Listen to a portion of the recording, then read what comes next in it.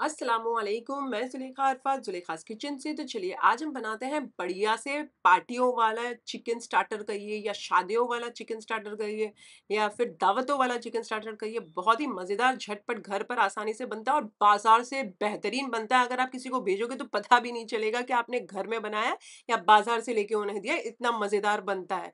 वैसे आप इसे चिकन चिली भी कह सकते हो। तो चलिए, शुरू करते हैं आज की रेसिपी। साधारण, यानी ऑर्डनरी इंग्रेडिएंट से एक्स्ट्रा ऑर्डनरी जबराट रेसिपी बना बनाते हैं आज की। चलिए। ये है तकरीबन 500 ग्राम चिकन बोनलेस है, इसके मैंने छोटे पीस करवाए हैं। आप चाहें तो मीडियम पीस कर सकते हैं, चर्बी निकाल लीजिए दो तीन पानी से धो के निकालने के लिए छन्नी के ऊपर रख दीजिएगा 10-15 मिनट के लिए। जब तक 10-15 मिनट हो जाए तो एक प्याले में डाल दीजिए इसे और इसमें हम थोड़े मसाले डाल देते हैं। आधा छोटा चाय का चम्मच नमक डाल दीजिए, एक छोटा चाय का चम्मच या सवा छोटा चाय का चम्मच कश्मीरी लाल मिर्च पाउडर डालिएगा एक टेबलस्पून अदरक लहसुन का पेस्ट, आधा छोटा चाय का चम्मच काली मिर्चों का पाउडर, एक छोटा चाय का चम्मच गरम मसाले का पाउडर डाल दीजिए। थोड़ा सा रेड तंदूरी फ़ूड कलर को थोड़ा से पानी में मैंने डाल दिया और इसे घोल बनाकर इसमें डाल दिया है। एक अंडे को फोड़ कर डाल दीजिए। अब यहाँ पर मेरे पास मैदा नहीं था आज। तो मैंने क्या किया, तीन टेबलस्पून कॉर्नफ्लावर यानी कि कॉर्नस्टार्च डाल दिया है। आप चाहें तो अगर आपके पास मैदा हो तो एक टेबलस्पून मैदा डालिएगा और दो टेबल टेबलस्पून कॉर्नस्टार्च यानी कि कॉर्नफ्लावर डाल दीजिएगा। ये सारी चीज़ों को बहुत अच्छे से मिक्स कर लीजिए और आधे पौने घंटे के लिए ढककर फ्रिज में मैरिनेट करने के लिए रख दीजिए या तब तक रखिए जब तक आपके पास समय हो, लेकिन थोड़ी देर मैरिनेट करने ज़रूर रखिएगा। जब तक मैरिनेट हो रहा है, ये सारी प्रिपरेशन कर लीजिएगा। मैं आपको बताती जाऊँगी रेसिपी के अंदर आगे कहाँ कहाँ कितना डालना है।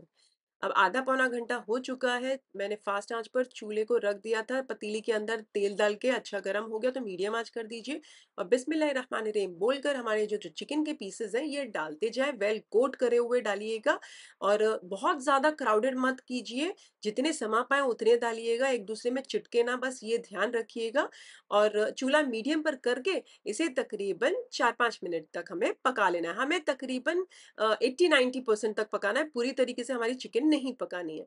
अब इसे एक मिनट तक फ्राई होने दीजिएगा, पलटिएगा मत, कुछ भी चम्मच मत लगाइएगा। जब एक मिनट हो जाए तो इसे पलट दीजिए और उलट पलट करते हुए चार से पाँच मिनट तक फ्राई कर लीजिए। जब चार से पाँच मिनट हो जाए तो 80-90 परसेंट तक तो गल जाएँगी हमारी ये चिकन। तो इन्हें निकाल कर नितार कर मैं छन्नी के ऊपर रख देती हूँ। आप चाहें तो टिश्यू पेपर के ऊपर बेशक रख सकते हैं।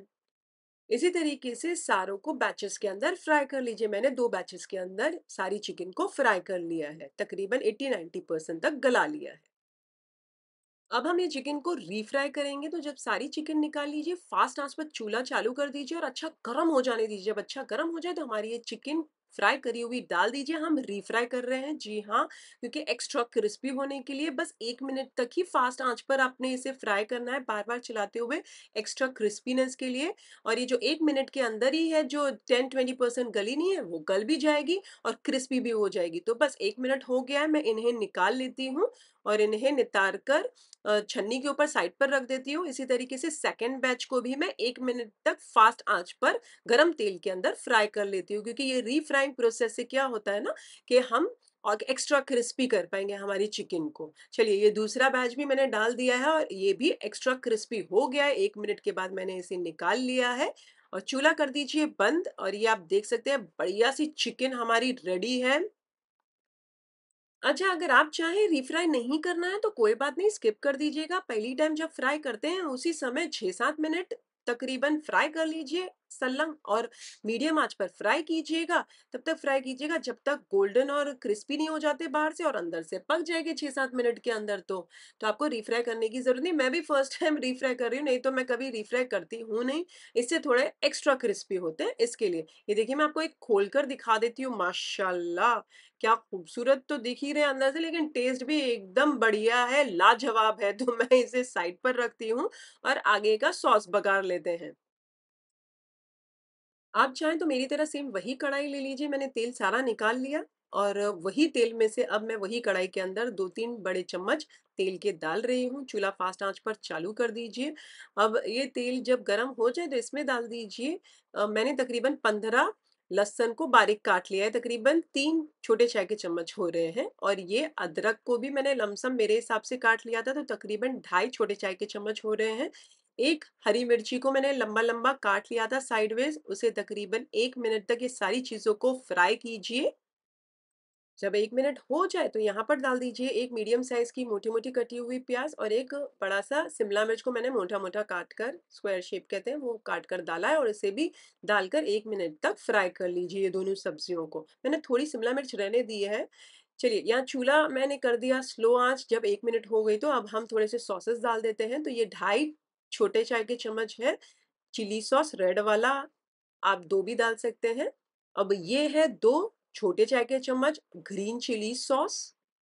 ये है तकरीबन तीन छोटे चाय के चम्मच टमाटर सॉस और ये है एक छोटा चाय का चम्मच विनेगर, एक छोटा चाय का चम्मच सोया सॉस भी डाल दीजिए इसमें। यहाँ पर मैं कश्मीरी रेड चिली पाउडर डाल रही हूँ, ये ऑप्शनल है, आपने नहीं डालना तो आप स्किप कर सकते हैं। मैंने 1/4 छोटा चाय का चम्मच भरकर डाला है और इसे चूल्हा मैंने मीडियम आँच कर दिया और इसे चला लीजिए और इसे तकरीबन आधे पौने मिनट तक पकने दीजिए। तब तक पकाएँ जब तक उबाल नहीं आ जाता हमारे ये सॉसेस के अंदर, मीडियम आँच पर पकाइएगा। अगर आपको एकदम बाज़ार जैसा बनाना है तो एक डेढ़ टेबल स्पून पानी लीजिए, उसके अंदर थोड़ा-सा तंदूरी रेड फ़ूड कलर डालकर घोल बना लीजिए और इसके अंदर डाल दीजिए, बहुत अच्छे से मिक्स कर लीजिए। अब मैं डाल रही हूँ, आपके लिए ऑप्शनल है, आपने नहीं डालना तो आप स्किप कर सकते हैं ये स्टेप को। चूल्हा मीडियम पर है, अब एक घोल बना लीजिए, एक छोटा चाय का चम्मच कॉर्नफ्लावर यानी कि कॉर्नस्टार्च को 3-4 टेबलस्पून जितने पानी के अंदर डालकर मिक्स कर लीजिए और स्लोरी बना लीजिए। और ये घोल आप इसके अंदर डाल दीजिए, चलिए ऐसे और चूल्हा मीडियम पर रख दीजिए और इसमें उबाल आ जाने दीजिए। अब इसके भाग का हम थोड़ा बहुत नमक और काली मिर्च डाल देते हैं, तो नमक यहाँ मैं डाल देती हूँ 1/4 छोटा चाय का चम्मच और काली मिर्चों का पाउडर आप चाहें तो 1/4 छोटा चाय का चम्मच डालें या फिर आधा छोटा चाय का चम्मच भी डाल सकते हैं। मैंने 1/4 छोटा चाय का चम्मच काली मिर्चों का पाउडर डाला और चुटकी भर नमक डालकर मिक्स कर लेती हूँ और इसमें देखिए अब उबाल आ गया है, उबाल आ जाता है, तो यहाँ पर मैंने चूल्हा मीडियम पर रखा है। अब इसमें डाल दीजिए चिकन के जो पीसेज़ हैं, सारे डाल दीजिए और इसे बहुत बढ़िया से टॉस कीजिए बार-बार चलाते हुए मीडियम आँच पर। तब तक पकाएँ जब तक आपको जितनी डिज़ायर्ड कंसिस्टेंसी चाहिए उतनी रखिए, आपको थोड़ी बहुत भी रखनी है तो आप एक मिनट में इसे थोड़ा-सा टॉस करके चूल्हे को कर दीजिएगा बंद और पूरी तरीके से ड्राई करनी है तो डेढ़ दो मिनट के बाद बंद कर दीजिएगा। बट मैं एक मिनट के बाद इसे चूल्हे को कर देती हूँ बंद, जो साइड पर रखा है शिमला मिर्च, वो भी मैं सारे अभी डाल देती हूँ फ्रेश ग्रीन कलर दिखाने के लिए। अच्छा, जब हो जाए मैंने एक मिनट तक ही टॉस किया है, चूल्हे कर देती हूँ बंद और थोड़ा-सा कोथमीर यानी कि हरा धनिया मैं डाल देती हूँ। अगर आपके पास ग्रीन स्प्रिंग ऑनियंस की पत्ती हो, उसे बारीक काट कर डाल दीजिए। अब आप चाहें तो किसी बाउल में या प्लेट में जिसमें भी सर्व करना चाहे उसमें सर्व कर दीजिए। तो ये बन गया है हमारा बढ़िया-सा मज़ेदार-सा पार्टियों वाला कहिए, शादियों वाला कहिए दावतों वाला कहिए, चिकन चिल्ली मज़ेदार-सा दिखने में क्या बढ़िया लग रहा है, ऐसा लग रहा है ना कि बाज़ार जैसा है। इनफैक्ट घर में आप जब बनाओगे और ये खाओगे तो ऐसा लगेगा कि बाज़ार से बेहतर है, कहाँ से आ गया, लोग उँगलियाँ झाड़ते रह जाएँगे इनशाला इतना मज़ेदार बनता है। आप चाहें तो इसे रमज़ान में इफ्तार के लिए भी बनाकर अपने फैमिली के लिए सर्व कर सकते हैं शाम को या फिर आप इफ्तार पार्टी है तो इसमें बनाकर सर्व कर सकते हैं या फिर आप इफ्तार भेजते हैं किसी के घर पे तो फॉइल के बाउल में बनाकर भेज दीजिए, पता भी नहीं चलेगा वो आप बताओगे तब पता चलेगा कि ये बाज़ार का नहीं है, घर का इतना डिलिशियस बनता है माशाल्लाह। अच्छा इसी तरीके से मैंने बहुत सारी चिकन स्टार्टर्स की रेसिपी मेरे चैनल पर अपलोड की है, लिंक डिस्क्रिप्शन के अंदर है। इनफैक्ट एक और मैंने बटर गार्लिक चिकन मेरे चैनल पर अपलोड किया वो भी पार्टी स्टार्टर है, उसका भी लिंक डिस्क्रिप्शन के अंदर है। अगर आप ये रेसिपी बनाएँ तो मेरे साथ कमेंट सेक्शन में ज़रूर शेयर कीजिएगा, मुझे आपके कमेंट्स पढ़ने बहुत अच्छे लगते हैं। रेसिपी अच्छी लगी तो एक लाइक तो बनता ही है, एक लाइक कर दीजिए इस वाले वीडियो को। फिर से हाज़िर होंगी नई शानदार दमदार रेसिपी के साथ, अंटिल देन टेक केरला हाफ़िज़, बाय।